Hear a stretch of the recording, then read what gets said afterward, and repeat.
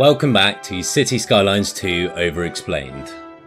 Today we're diving into some of the best mods currently available in City Skylines, and we're going to cover how to install them, how they work, and some interesting ways to use them too. The vanilla game is solid, but with a few simple mods you can turn this game into the best city building experience there is. For this overexplained save, I'm just going to focus on essential quality of life mods. Nothing game breaking, just tools that add more flexibility or help bypass some of the most frustrating mechanics in the game. If you're just after quick recommendations, there's a YouTube short linked in the top right of your screen that covers the most key mods at a glance. But if you want a full breakdown with all the details and examples, then you're in the right place. As always, this video is fully timestamped, so feel free to skip ahead if there's something you already know, and let's get into it. Here are the best mods for City Skylines 2. Now, the first thing you're probably wondering is, how do I even get mods? Am I going to have to faff around downloading a new launcher or, or spend ages copying over files? Well, quite the opposite. It's actually super easy, barely an inconvenience. Oh, really? About a year ago, the developers added Paradox Mods, an inbuilt workshop for browsing, installing and managing your mods. If you don't know, Paradox Interactive is the publisher of City Skylines 2 and also the developer of popular strategy games like Hearts of Iron, Crusader Kings or Stellaris. And to access Paradox mods, there is a button conveniently located on the menu right here. Opening this will allow you to browse all mods, ranging from basic quality of life mods, through to total overhaul mods, or even custom maps and things like that. Paradox mods also allows you to create and switch between playsets. These are essentially like groups of mods that you've put together and it allows you to switch between them easily. For example, when I built the Line Mega projects, go and check out that video. It required a bunch of specific mods to change the look of the map and things like that that I never really used, so I created its own playset and used it just for that playthrough. For this save, I'm probably going to make my own playset and call it Overexplained. But now though, now we're familiar with playsets, we can go ahead and install the first mod I want to talk about today, and that is Anarchy. So you can come into Browse and search in the search bar here. If it doesn't pop up, you might need to tweak the sort by details here, but this is the one we want. This is Anarchy with the orange A and the circle around it. All you have to do is press this plus button here. This will also prompt us to download another mod as well that is dependent on it so we'll agree to that as well. And once it's downloaded, you'll need to go back out to the menu and the game will prompt you to restart. You need to do this every time you change your playset and your mods, and this process is the same for all other mods we're going to talk about today. Anarchy is by far one of my favourite mods in the game, and it's also one of the most simple. Sadly, it doesn't involve creating a city with no government, although that would be pretty cool. All it does is add this little button down here and removes restrictions when you're placing things. It's no secret that building restrictions in this game can be quite annoying. In fact, I moaned about it in my last video. And when I talk about building restrictions, I'm talking about those pesky little pop-ups that come up when you're trying to build anything, like slope too steep or overlapping items, sometimes even building in the water. They're very annoying. But now that we've got Anarchy, we can do this.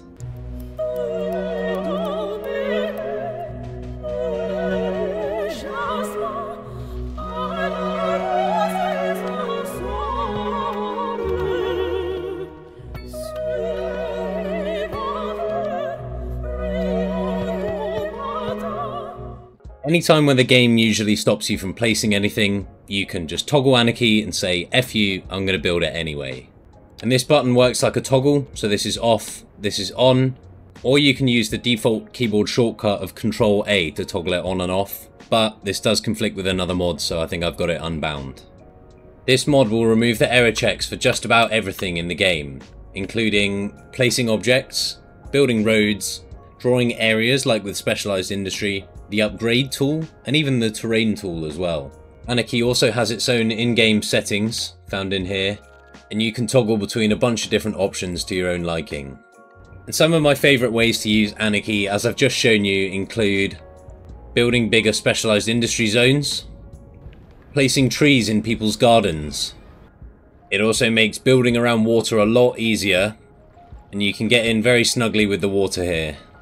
Some others include building around roundabouts and upgrading around roundabouts, and placing your pedestrian bridges steeper than you usually can. That's just about it for Anarchy, one of the best mods because it's so simple and non-intrusive and really gets rid of a lot of frustrations in the game. I'm going to rank it a solid 10.6 out of 12 and a half. The next mod in my sights is Move It, another absolute staple of City Skylines 2. Move It lets you... Move it! This mod lets you reposition things after you've placed them. So you can move stuff around, you can rotate them, you can even raise and lower things as well. Once again, the vanilla building mechanics can be a bit janky, or at least a bit restrictive.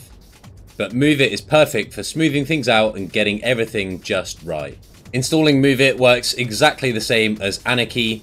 Just head to Paradox Mods, find Move It, hit the plus button and restart your game and that should automatically add it to your current playset.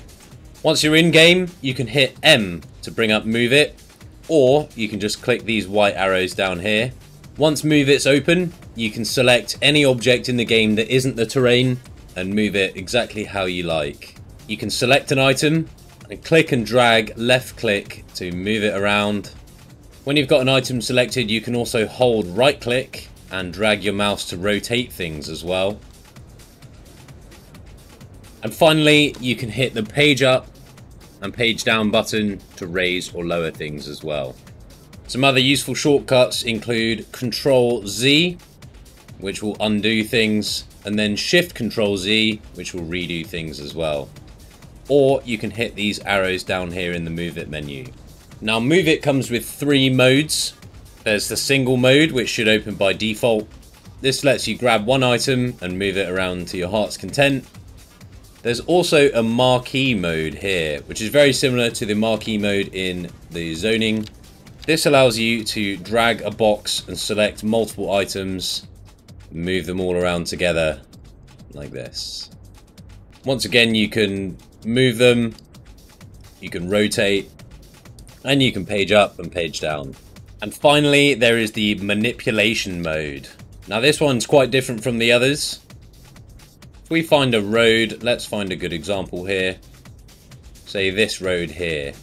You might notice when we mouse over a road, when we're in manipulation mode, we get these pinky purple circles in here, connected by a dotted line. These show the angles of the connections at each end of the road. And while you're in manipulation mode, you can grab these circles. It basically lets you adjust individual elements within an object rather than moving the object itself. So for example, if we wanted to change where the bend in the road happens, we can shift this up or down. We can go up or down to increase or decrease the amount of curve. And we can even change where the road joins here, although it gets a bit janky. As the mod developer says, this is a very powerful tool, so be ready with your undo button and, and just be careful that you can completely break things if you're not careful. Now while we've got the move it menu open, you'll see that there's some more options down here. So we can filter in and out objects that we want to grab. So if I was in marquee mode, uh, unselect everything except for plants, I could drag, drag a box over the whole city and it will only select the plants here. And that works for all the other types of filters we can use. And finally, there's the toolbox. Some of these are really powerful, but I'm not going to explain it in too much detail here. Go into game, try it out for yourself and play around with them, because they can be really handy in very niche situations. Now, some of my favourite ways to use Move It include raising and lowering bridges, adjusting the orientation of houses so that they align with the road better. It can also be useful for smoothing out slopes on roads like this, or like this. And of course, it's great for smoothing out roads as well. You can grab these nodes and straighten out these roads and make them look a lot nicer. Overall, it's a very solid mod it's one of those that once you start playing with it, you'll struggle to play without it. I'm rating it a solid 4.1 out of 4.9. Next we are on to Find It, another very handy mod for more advanced building. Find It gives you access to all assets in the game, including even those added by other mods. An asset is any in-game object, whether it's a building, or a tree, or a street sign. This even includes objects within other objects. So this could be garden sheds, or even AC units in industrial buildings. And Find It collects them all together and lets you browse through them easily and quickly through the Find It menu, which can be accessed by clicking this magnifying glass here, or you can press Ctrl F. This menu is pretty well organised. It gives you a bunch of different headings to click through with their own subheadings as well. The asterisk menu is just everything. It's not filtered at all. And you can see it's showing 5,400 items here that we can scroll through. We also get access to the networks tab. And this includes your roads and your rails and anything to do with them as well. This even lets you place things like the highway support pillars, and it allows you to create some really cool custom structures just out of these parts here. We also get access to the Paths tab, and here you can place what are called net lanes. These are essentially paths on top of existing roads that are used by the AI to know where they can walk or drive, and it allows you to place invisible versions. So, so if you wanted to give access to something without actually placing a road, you can use these invisible paths here as well. And next we get the buildings heading which includes all the assets for all the different types of zoning. So this lets you choose exactly the type of building you want to place, without having to leave it to chance like you do when you zone it manually. And you can even choose the different levels here, so you can see the L1 here, meaning level 1, and this goes all the way up to L5, being the level 5. And these are the same levels that you can find here. And as I mentioned previously, when things level up, it actually changes the look of the building, so if you wanted a more advanced version of this house, you can put down the level 5 one right off the bat. And that's the same for both the service buildings here and the trees as well. There's lots of different options here. Finally, one of the most useful ones is props. Now these get their own subheadings here, which is great because there's over 14,000 items to choose from. And this is like what I mentioned earlier. There's the AC units and the antennas and the garden chairs. And you can put these down to decorate areas exactly how you like. As I'm sure you can tell, this mod is best utilised by people who like to detail thoroughly, because you could spend literally days scrolling through all these different building options. Thankfully though, you don't have to, because Find It comes with its own filtering options, so you can filter down the amount of options to find what you're actually looking for. And you can access it by clicking this funnel icon here. Now to best show this off, I'm going to use an example. So I've been eyeing up this bit of real estate here on the cliff by the shore, and I want to build some really nice houses just in this little gap here. So first I'm going to clear the trees. And then while I'm in the Find It menu, I can come into Buildings and come to Residential. When I go to place things, I'll get to see the grid here. And I can see I've got probably four cells worth of depth. And you can use this filter tab over here. So let's say we want four tiles of depth and we want it to be a low density residential. Finally, we want it to be a level 5 building because it's going to be quite a nice house. And here's all our options. So we could come in, put down this lovely house right on the cliff. For some reason, it just doesn't want me to place anything here. Says everything is condemned. Ah, I know why. You need to colour in the zoning behind it here. So if I colour this to Seaside Residential, it still doesn't work. But you get the point. You can pick and choose the exact type of house you want for the right area here. Another really useful feature of Find It is the picker option. And you can access it by using this pipette button down here or by pressing Ctrl P. And this will allow you to click on any object in the game and immediately have it in your hand. So let's say we wanted to continue this road down here.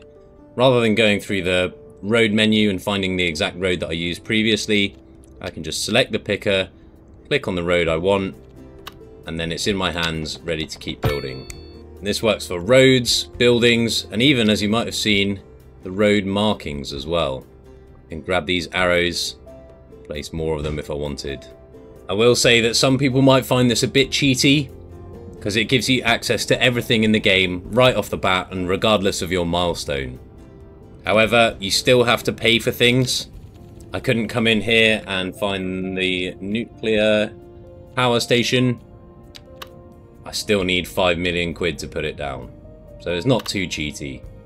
Overall, a really handy mod that is great if you're interested in custom builds and detailing nicely, but it's not nearly as universally useful as the previous two mods. So I'm only going to rate it a 1 out of 1.2. Now, the final mod on my list is Plop the Growables. Now, the reason I'm mentioning it after Find It is because Plop the Growables is more like an add-on to Find It rather than a standalone mod in itself. As the name suggests, it lets you plop growable buildings without them instantly being condemned. You remember a few minutes ago when those buildings I placed on the cliff were instantly condemned? Plop the Growables will disable the growable building zone checks so you can place them just about anywhere as long as they have road access. And by growables, I mean any building that has a level that will naturally grow and level up as the occupants invest more money into the property. So this applies to anything you can zone, such as residential, commercial, and industrial. While this might seem like a simple change, this means you can build a completely customized and hand-placed neighborhood, with the exact buildings you choose in the exact place that you might want to put them. This mod also lets you lock the building's level using this button here. So if you built a small rural hamlet with level 1 buildings and you wanted to keep them at level 1, you can just hit this button and it will stop it from leveling up. The beauty of Plop the Growables when combined with the other three mods that I've mentioned so far is that these guys give you complete creative freedom with how you want your builds to turn out. In vanilla, you just colour in the zoning cells, see what comes out, and then you're stuck with it. But with Anarchy, Move It, Find It, and Plop the Growables, you get the final say in how the buildings look, which way they face, what level they are, and where you can place them. And that's why, in my mind, these are the four most staple mods in the entire game and the only ones I'd recommend you try first before adding any others to your playset. Overall, Plop the Growables is not the be all and end all of mods, but I think it's the cherry on the cake for beginner friendly mods. That's why I'm rating it a solid 16 out of 19.5. Now the final thing I want to do in this video is a bit of renaming, because I've had some inspiration for the names of these districts here. Firstly, our lovely seafront district here I'm going to rename to Russia Rise after my boy Epic Gamer Russia. Love you, man. And the two residential districts behind Russia Rise will be named Jessup Park, after Aaron Jessup, who donated on my last video. Thank you, dudes. This wouldn't be possible without you guys. And that's it from me today. Sorry for the delay in uploads. For once, I've been making the most of the British summer over here, spending the last few weeks out on the water, dolphin spotting of all things. Anyway, next episode I'm going to do some more building and expanding, so if you want to keep up to date, hit subscribe and you'll see me in the next episode.